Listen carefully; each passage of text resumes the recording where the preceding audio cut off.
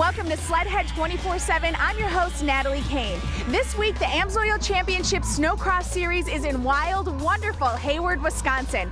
Now, with two races left, the battle for the points is on. Right now, we're going to check in with Farron Meeks in the broadcast booth for Who to Watch. Thanks, Natalie. Three racers that I'm going to watch this weekend here in Hayward, Wisconsin. TJ Gula, who's coming off of two phenomenal weeks, one out in New York and one in Valcourt, Quebec. His teammate Levi LaVallee, also a rider to watch this weekend, as he is sitting in the points battle right now. The other rider we want to talk about this weekend, who is also in a points battle, is Garth Kaufman on an Arctic Cat. Look for an exciting weekend of racing this weekend here in Hayward, and two weeks from now, we're going to wrap it all up in beautiful Lake Geneva, Wisconsin. For a better look and feel of the track, my broadcast partner and former racer Paul Mack takes us for a lap around the track with the help of our onboard Motocom helmet cam. Mac, what's it like out there? Thanks, Farron. Here's what it looks like if you were on a sled today. Out on the start, it's a hard left to the backstretch of this Pocono-style oval. It's one of the widest courses on the series this year.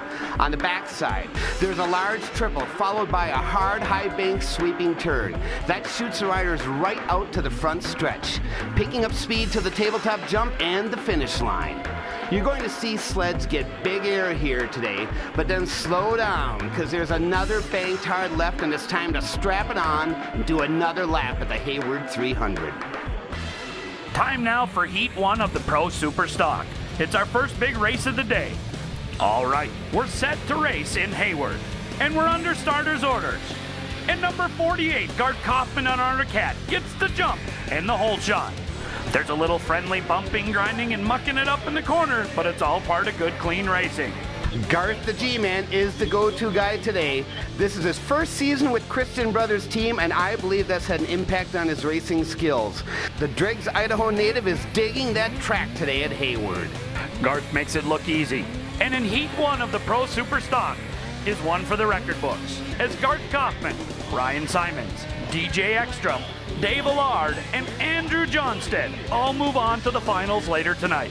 Well, uh, this is pretty much your class. You're dominating it. How do you feel? I feel good, you know, to get the win, and uh, that's all I can do. I made up a few points on Simons, who was closing in on me after the last national, so it's good to beat him and get a couple of those points back, and uh, hopefully catch up a few on Levi. We'll see how his race goes.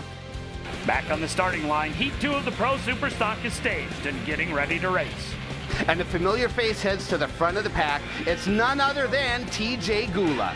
TJ nabs a hole shot and makes his move out front. And hot and heavy into the first corner only begins to describe the racing action.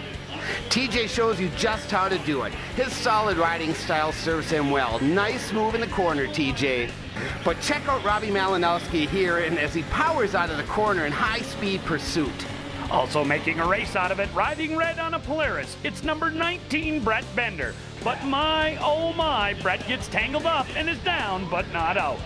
Tough luck there, Mr. B. I know when you bobble a bit, it can cost you. Brett can only hope for better luck and a better race in the LCQ.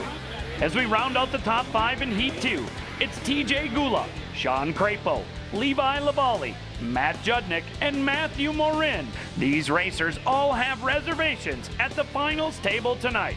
That was kind of a chaotic race. What was going on? Uh, you know, I just got out front and, and, you know, I just cruised and, I mean, I can't imagine what it's like getting roosted out there. I mean, I had clear vision and I was still like just getting the bars pounded into my chest, the, the square holes, and, and uh, it's just, it's going to be a really, really challenging final. WeFest 2009. Tim McGraw. Taylor Swift. Brooks and Dunn.